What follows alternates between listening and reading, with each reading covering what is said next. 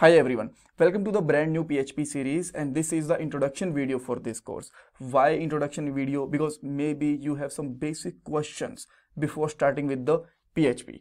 Questions like, like what is the scope of PHP? What is the future? How many opportunities we have in PHP? Like why should you learn PHP? Because there are lots of other programming languages in the market. The first reason is there are lots of job in PHP and how I can say that there are lots of job See, 33 million websites are using PHP nowadays. And if you want to know this number in percentage, then you can see that PHP is used by approximately 77% of all websites. And this is a huge number. And that's why we can say that there are lots of jobs.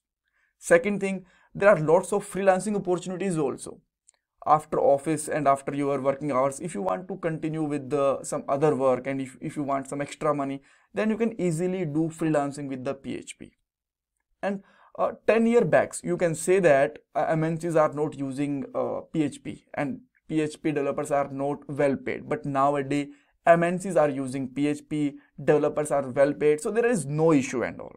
All right Okay, so the next question you can ask, why should we choose this course? Because there are lots of courses available on the paid platforms on YouTube and in the uh, official documentation is also there. So what's so special about this course? course? See, this is the complete course of PHP. There we'll cover all topics with the interview questions as well as with examples. And code of every video will be available on the GitHub and link will be provided in the description box of video and still if you have any question any query you can ask me in the comment section or you can ask me on the instagram also. I'll definitely answer you there. All right. So next question you can, you can ask like how we will learn php there? Because what is the structure and uh, what will be the syllabus of this course? See we will start with the introduction and working style of php like basic thing that you need to know about uh, php and programming language. We'll talk about that after that, I'll tell you how we can set up PHP. We learn basic thing of PHP. We will also learn object-oriented programming and advanced PHP also. After that, I'll tell you how you can integrate PHP with the HTML, CSS and JavaScript, how you can connect PHP with the MySQL.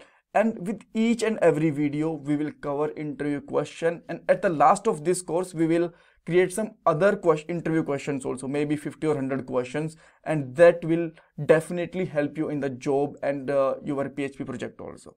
All right?